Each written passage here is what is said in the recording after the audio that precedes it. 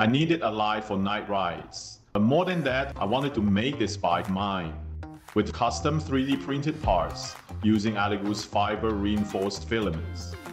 Making a light isn't just about brightness, it's also about durability, structural strength, weather resistance, and moisture protection. That's why I chose Elegoo's PETG-GF.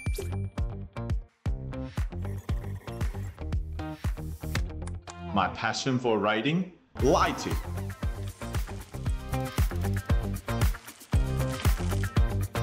But I wasn't done yet. Adventures mean uncharted roads. I needed navigation. But holding a phone? Not safe. Ouch! Time for a phone mount.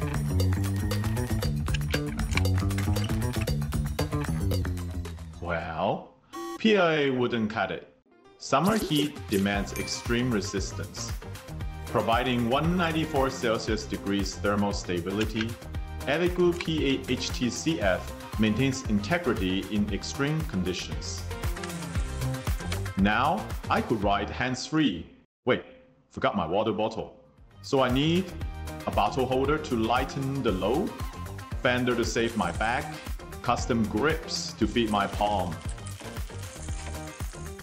Turns out my bike's never done, but I always have the right filament from Elegoo.